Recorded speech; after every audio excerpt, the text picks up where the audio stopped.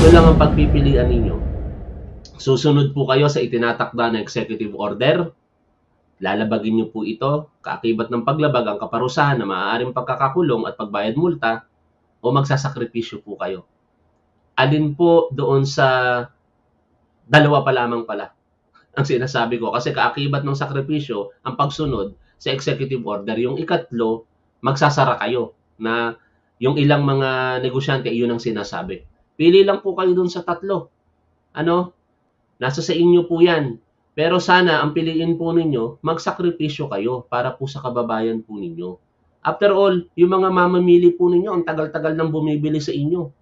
Gasino lamang na sa loob ng isang buwan o higit pa sa isang buwan, eh matulungan nyo naman sila sa pamamagitan ng pagsasakripisyo kahit hindi kayo kumita ng ganong kalaki, at least nakatulong kayo sa inyong mga mamimili. Oh, mga sige. parusa sa paglabag sa nabanggit na batas kanina, yung ah, Republic Act 7581. Price penalty for acts of illegal ma- price manipulation. Sino mang sangkot sa illegal na pagmamanipula ng presyo ng anumang basic o prime commodity gaya ng bigas ay maaaring una, makulong sa loob ng hindi bababa sa limang taon, hindi rin hihigit sa labing limang taon. Magbayad ng multang hindi bababa sa limang, mil, limang libong piso o hindi hihigit sa dalawang milyong piso. Yun, magandang araw sa inyong lahat mga tol. Ngayon po ay September 4, 2023 at patuloy po nating suportahan ang ating mahal na Pangulong Ferdinand R. Marcos Jr. Nasa ngayong oras ay papunta na po sa Jakarta, Indonesia para po dumalo sa ika-apat na po tatlong ASEAN Summit. Inuulit po natin ang Pangulo po natin, huwag niyong galitin. Talagang likas lamang na mabait si Pangulong Bongbong Marcos at wala sa kanya yung rhetoric na pagsasalita ng matapang, pagmumura o kung anuman para lamang palabasin na siya po ay matapang. Kasi sa katotohanan, napakinggan naman po natin kung paano po tinuturing nitong si Pangulong Bongbong Marcos ang isang public servant. Dapat kapag ka ikaw ay public servant daw, hindi ka nagpapakita ng emosyon. At all times, kumbaga, kalmado ka. Narinig po natin yan nung siya po ay nagbigay ng kanyang pahayag, pasasalamat sa mensahe niya po sa pumanaw na si Secretary Toots Ople. Di ba? Humingi pa nga siya ng paumanhin kung sa puntong iyon eh magiging emotional siya at tutulo ang kanyang luha. Kasi sabi niya nga, bilang isang public servant, dapat hindi siya nagpapakita ng anumang emosyon kung hindi natural lamang. Yun, kaya po natin nakikita sa katangian ngayon ng ating Pangulo na napakakalmado sa lahat po ng pagkakataon. Kahit galit na, kahit nalulungkot, pero tinatry niyang kalmahin ang kanyang sarili at maging normal lamang sa harapan po ng publiko. Ngayon, nagpapaalala po ang ating Pangulo lalong-lalo na sa mga smuggler, sa mga hoarder at sa mga nagsasamantala sa presyo po ng bigas. Kayo po ang mga mapagsamantalang tao, nabibilang na po ang oras ninyo. Bagamat hindi ganyan ang sinabi ng Pangulo, pero para sa akin, yung kanyang pahayag, pagbibilang na ng oras ito sa mga mapagsamantalang tao. Kasi bakit? Eh, ang gobyerno kasi hanggat maaari ayaw makialam sa merkado.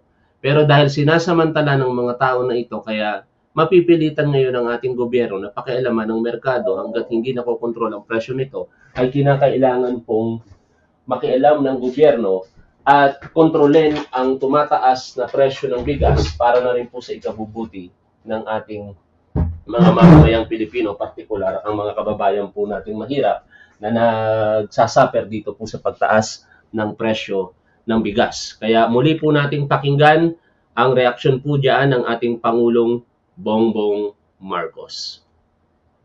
Kami ay uh, nasa Jakarta ay walang tigil po ang aming pagtutok sa sitwasyon na ngayon na ating hinaharap tungkol sa bigas.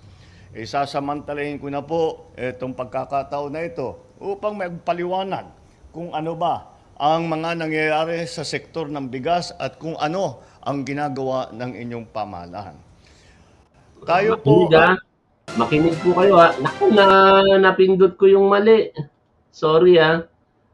Sandali ah, napindot ko yung mali. eh. ay uh, nasa Jakarta Yan, ay natin. walang tigil po ang aming pagtutok sa sitwasyon na ngayon na ating hinaharap tungkol sa bigas.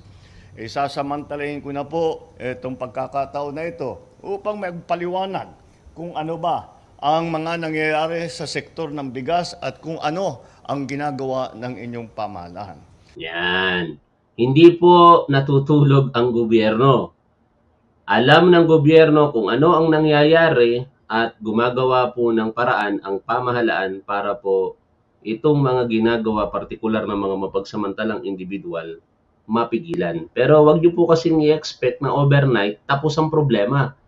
Yan ang problema sa ating mga Pilipino eh. Masyado kayong nagpaniwala sa mga nakalipas na panahon na sasabihin ng isang namumuno in 3 to 6 months. Tapos ang problema, paniwalang paliwana naman kayo. Just kill them. If they uh, post threat sa inyong mga buhay, paniwalang paniwala naman kayo kagad. Ano?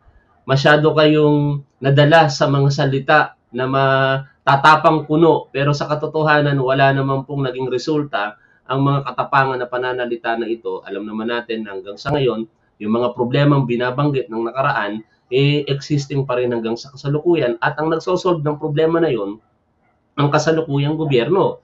O ngayon, tuloy po natin ang pakikinig kay Pangulong Bongbong Marcos. Tayo po ay sa lahat ng pag-aaral ng Department of Agriculture at lahat ng ibang ahensya ng pamahalaan. Hindi namin makita kung hindi namin makita ang magagandang dahilan kung bakit tataas ang presyo ng bigas ng ganito. O lumalampas na 50 pesos ang bawat isang kilo. Ngayon, Pinilabas ko, sa pinilabas ko sila Mamadog, napakaingay naman, tahol ng tahol sa labas. O anyway, sana hindi kayo masyadong naiingayan. Ano? Ako, naiingayan ako dito. Tuloy tayo mga Sa tol. pag-aaral namin, ang dahilan lamang dito ay talagang nandyan ang mga smuggler at saka ang mga hoarder. Ayan ha, una. Itong mga smuggler at hoarder na ito, ang pangunahing salarin. Pero alam naman natin na ang bawat kriminal hindi kaagad nahuhuli. Si Digong nga, 'di ba? Sabi niya, sa kanyang pamumuno mawawala ang kriminalidad. Natapos na lamang yung kanyang termino pero hindi naman nangyari. Ang mahalaga, kumikilos ngayon ang ating gobyerno at inuunti-unti po nilang solvin ang problema na ito, partikular sa mga smuggler at hoarder. Nakita naman natin sa nakalipas na mga araw ang kautusan po ng ating Pangulo, partikular sa Bureau of Customs, na siguraduhin na ang mga produktong pumapasok po dito ay nagbabayad po ng tamang buwis. Kasi kapag ka hindi sila nagbayad ng tamang buwis, ibig sabihin po nun, smuggle goods po yon. At yon ang nagpapabagsak ngayon, partikular sa hanap buhay ng ating mga kababayan na mga magsasaka kapag ka itong mga agricultural products na ito na mga smuggler, smuggled ay kumalat po sa merkado. O anyway, sige, patuloy po natin pakinggan dito ang ating Pangulo. Ako po, sa, sa aking pag-iisip, ang aking ah, pag-approach pagka dumating sa ekonomiya, ay nais kong sa hanggat maaari ayaw kong pakialaman ang merkado. At pabayaan natin, let the market do its work. Ngunit ay pinapakialaman na ang merkado natin. Kaya't kailangan pumasok ang pamahalaan at ito nga ang aming ginawa ay tayo ay naglagay ng price ceiling para Yan. sa presyo ng bigas. Bakit kailangan gawin niya ng ating Pangulong Bongbong Marcos?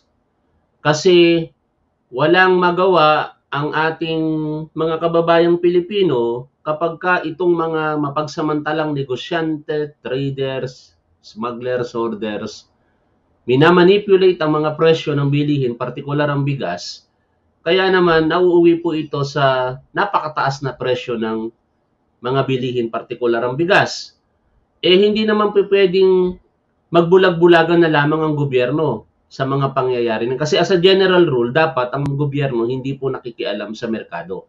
Pero kinakailangan pong makialam ng gobyerno para po i-regulate itong conduct ng mga mapagsamantalang tao na tayong mga mahihirap ang pinakaapektado. Ngayon, ano tong binabanggit ng ating Pangulong Bongbong Marcos na Executive Order number 39. Naipaliwanag na po natin ito sa mga nakalipas po na live stream natin pero uulitin lamang po natin using the infographics sa Facebook page po ng Presidential Communications Office.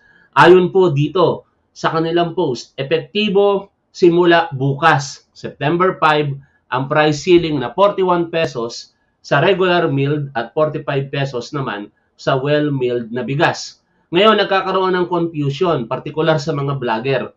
Let us correct the confusion.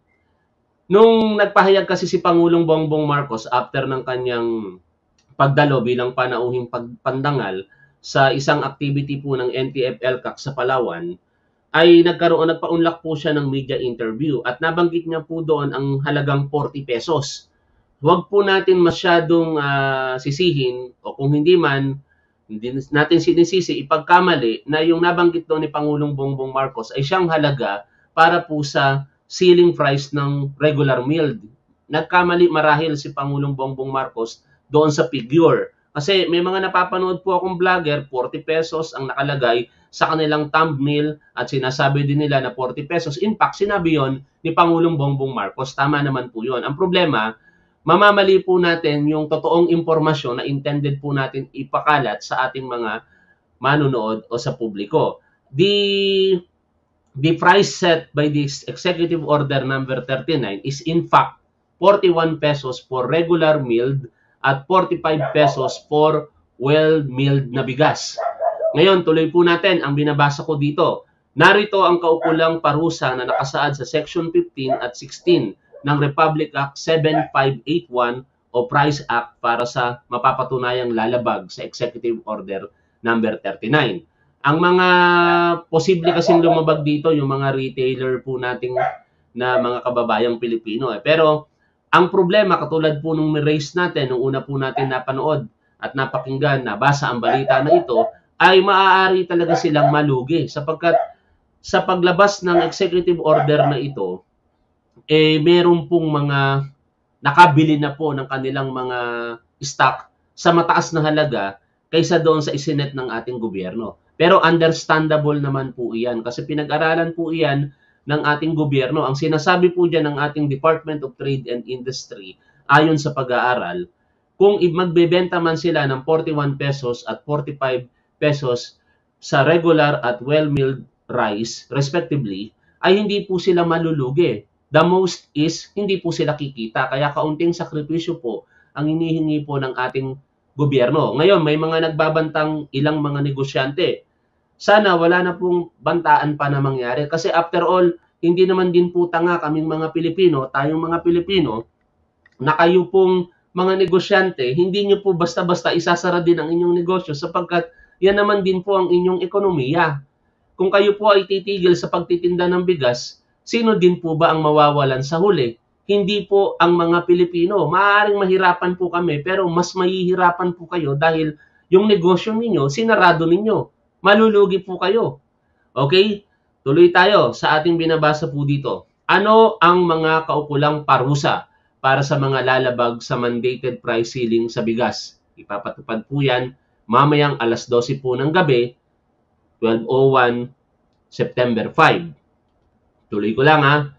Sabi po dito, mga parusa sa paglabag sa nabanggit na batas kanina, yung uh, Republic Act 7581. Price penalty for acts of illegal ma- price manipulation. Sino mang sangkot sa illegal na pagmamanipula ng presyo ng anumang basic o prime commodity gaya ng bigas ay maaaring una, makulong sa loob ng hindi bababa sa limang taon, hindi rin hihigit sa labing limang taon. Magbayad ng multang hindi bababa sa limang, mil, limang libong piso o hindi hihigit sa dalawang milyong piso. Ibig sabihin, maaari kang makulong at magbabayad ka pa ng multa. Kaya sana sa mga negosyante, hinihimok po namin kayo na sundin po ninyo ang Executive Order number 39. Otherwise, the law is harsh but it is the law. Ganun lang po yan eh. Ngayon, kung sasabihin po ninyo kayo yung magsasara, then wala kaming magagawa. Pero face the consequences of your action. Sa pagsasara ninyo, malulugi kayo. Hindi kaming mga Pilipino ang nawalan sapagkat hindi naman lahat ng mga negosyante magsasara. marami din po sa kanila ang magsasakripisyo alang-alang sa kapwa nila Pilipino. At ipapasalamat po namin yun sapagkat sila nagawa nila magsakripisyo samantalang kayo inuunan nyo yung inyong mga personal na interes. Tuloy tayo. Penalty for violation of price ceiling. Ito na po in particular ha, sino mang lalabag sa mga probisyon ng Price Act para sa mandated price ceiling ay maaaring makulong sa loob ng hindi bababa sa isang taon hindi rin hihigit sa 10 taon at magbayad ng multang hindi bababa sa 5,000 piso o hindi hihigit sa 1 milyon batay sa pasya ng korte. Ito po ay ayon sa Republic Act 7581 or the Price. Kaya sana wala na pong mga pabanta-banta pa dyan mga tol ha? sa mga negosyante na nagbabanta, either isarado po ninyo ang inyong negosyo o magsakripisyo po kayo para po sa kababayan po nating mga Pilipino. Balik po tayo dito po sa talumpati ng ating mahal na Pangulong Bongbong At Marcos. uh, pangalawa, kailangan ko po, kaya patuloy po ang ating magiging ah, ah, kampanya sa paghuhuli ng mga smuggler, sa paghuhuli sa mga hoarder. Tuloy-tuloy yan. Ngunit sa ngayon, eh, kailangan na masyado ng matagal, hindi bumabawi ang merkado, nahirapan na ang tao. Kaya napilitan ang gobyerno na pumasok at magsabi na maglagay tayo ng price control para naman naghihirap na ang tao. Dapat naman, eh, wag na natin dagdagan ng kanilang kahirapan. Pangalawa po, kailangan ko may paliwanag. Ito po ay Sana mapakinggan po ninyo ito mga kababayan po naming negosyante. Lalong-lalo na yung mga nagbabanta po ng pagsasarado ng kanilang mga tindahan. Napakinggan nyo naman po yung sinabi po ng ating Pangulo. Huwag na po nating pahirapan pa ang mga kababayan po nating mahihirap. Konting sakripisyo kasi pansamantala lang naman po ito. Hindi po ito pang matagalan. Darating na po ang anihan, sinasabi po ng ating gobyerno by October, marami na pong ani at maaaring malip ito pong price ceiling na itinakda po ng ating gobyerno. Hintayin po natin na kahit paano yung mga kahirapan na nararanasan po ng ating mga kababayang Pilipino, maibsan naman sa sa bisa nitong executive order na ipapatupad bukas ng ating gobyerno. Sakripisyo mga kababayan po naming negosyante. Kasi alam niyo naman kung gaano kalaki ang halaga ng bigas. Buti kayo, mga negosyante po kayo. Nakabase ang inyong kinikita sa negosyo po ninyo. Maaari pong tumaas, maaaring hindi kumita o malugi. Pero most of the time, kaya nga existing pa rin ang inyong mga negosyo, kayo ay kumikita. E paano naman po yung mga kababayan po nating Pilipino na ang sahod, 600 pesos, 500 pesos sa isang araw. Mga nasa salary, nasa minimum salary wage. Ano? Tama, minimum wage earner. Salary na, wage pa. O, mga minimum wage earner. Sila po yung pinaka-apektado dito. Dahil kung hindi po kayo magsasakripisyo sa loob ng isang linggo, o sabihin na natin isang buwan, malaking bagay po yung mawawala sa kanila. Pero dahil nga may itinakda ng executive order, either tatlo lang ang pagpipilian nyo dito eh. Mga kababayan po naming, mga, mga mahal naming negosyante, ano. Tatlo lang ang pagpipilian ninyo. Susunod po kayo sa itinatakda na executive order. Lalabagin nyo po ito. Kaakibat ng paglabag ang kaparusahan na maaaring pagkakakulong at pagbayad multa o magsasakripisyo po kayo. Alin po doon sa dalawa pa lamang pala ang sinasabi ko. Kasi kaakibat ng sakripisyo, ang pagsunod sa executive order, yung ikatlo, magsasara kayo na yung ilang mga negosyante, yun ang sinasabi. Pili lang po kayo dun sa tatlo. Ano? Nasa sa inyo po yan. Pero sana ang piliin po ninyo, magsakripisyo kayo para po sa kababayan po ninyo. After all, yung mga mamamili po ninyo, ang tagal-tagal nang bumibili sa inyo.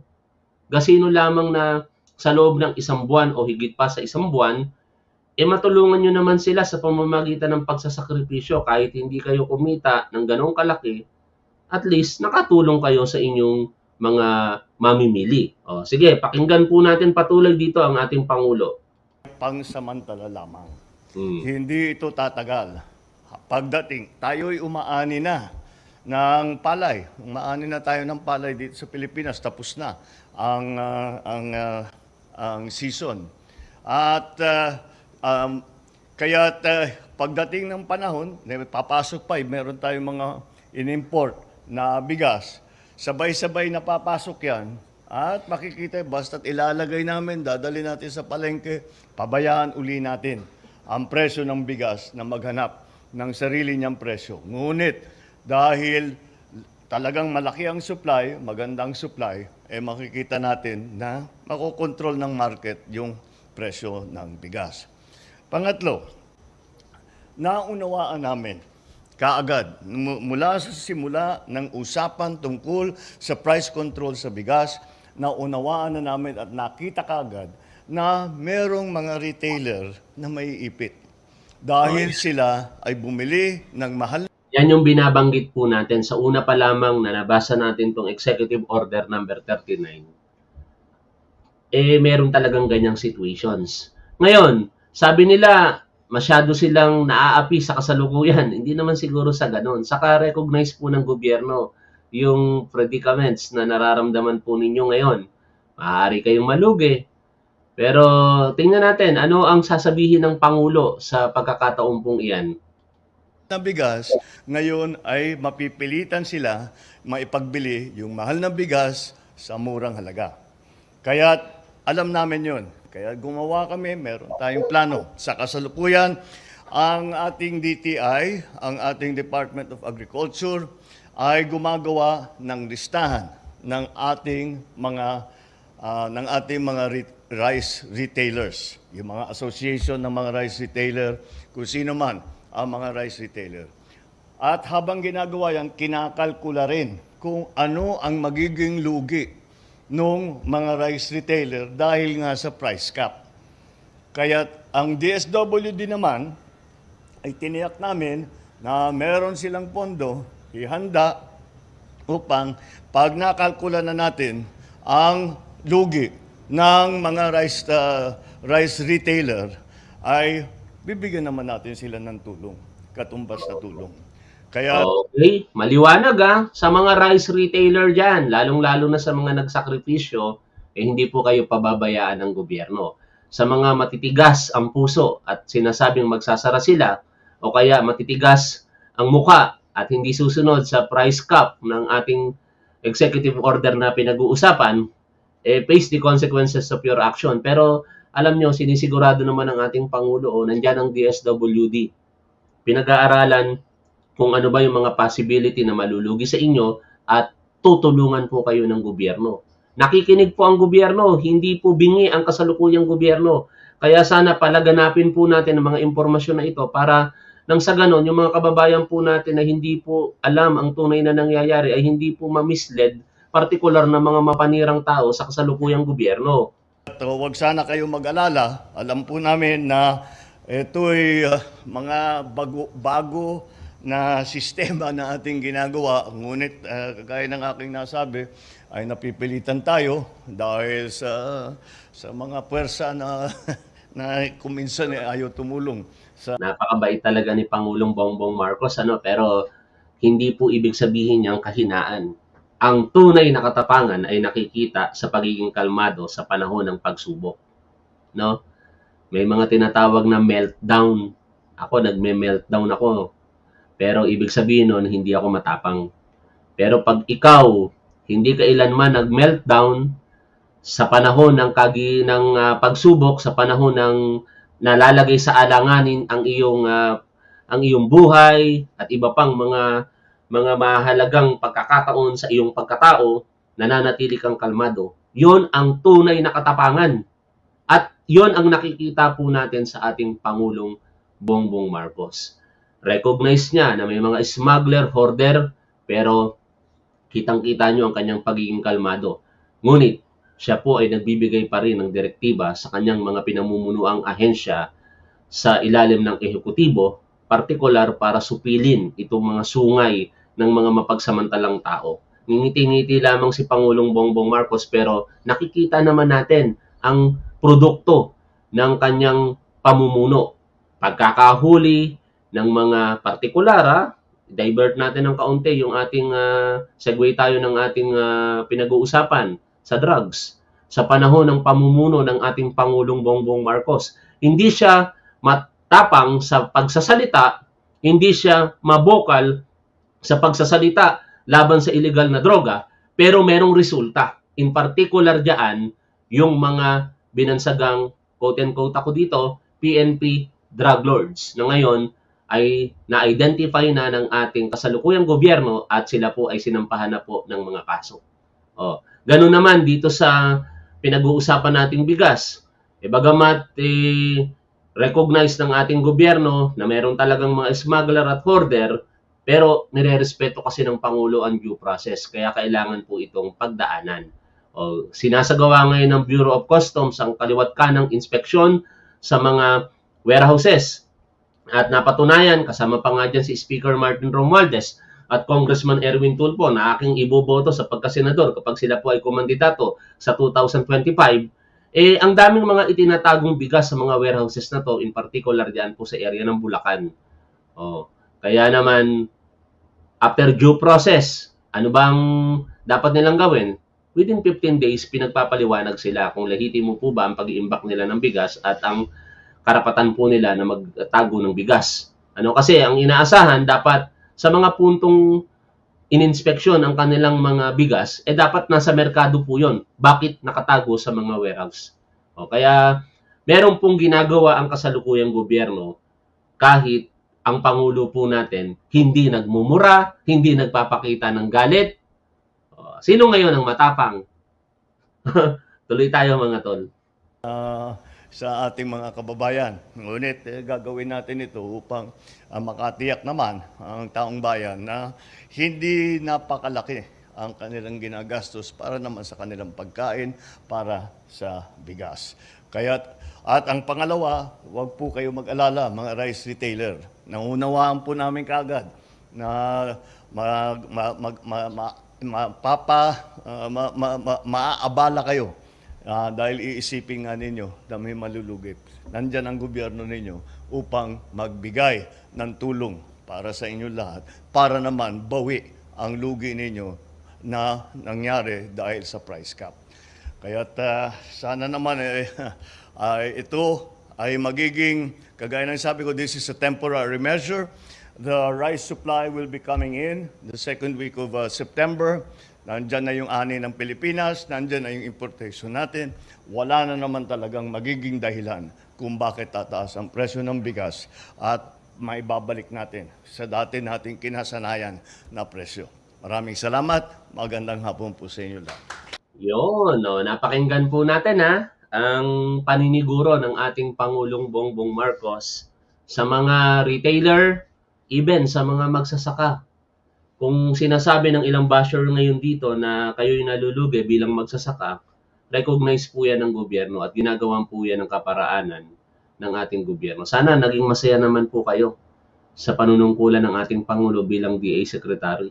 Sa panahon ng ating Pangulong Bongbong Marcos, hindi naman sa sinusumbatan namin kayo, nabigyan kayo ng lupain. 600,000 plus kayong mga magsasaka na binigyan po ng lupain ng kasalukuyang gobyerno. At ano ang kapalit po nito? Yung pagkakautang ninyo, di ba, hindi nyo na binayaran? Kung tutuusin, sakripisyo yan ng taong bayan. Pero pinag-aralan po yan ng kasalukuyang gobyerno, yung 50 billion pesos na mga pagkakautang ninyo, pag pinagsama-sama kayong 600,000 plus na mga tumanggap ng lupain, eh, kahit paano masusolusyonan ng gobyerno sa ibang kaparaanan para kumita ang gobyerno dito. Sakripisyo na ginawa ng gobyerno sa kanang sambayan ng Pilipino para mapabuti po ang inyong welfare. Huwag lamang kayong mainip. Buti nga merong pangulo ngayon na tumitingin sa inyong welfare. Eh. Hindi nyo ba naiisip na sa mga nakalipas na administrasyon, partikular itong nakatapos na administrasyon, puro pag-import lamang ang ginawa at napabayaan ang sektor ng agrikultura? Hindi ako ang nagsabi niyan, kung hindi si Secretary, dating Secretary Manny Piñol. Maraming maraming salamat sa inyo mga tol. Hanggang dito na lamang ang topic natin. Pero bago tayo pansamantalang magiwahiwalay, magbabalik muna ako sa inyong mga komento.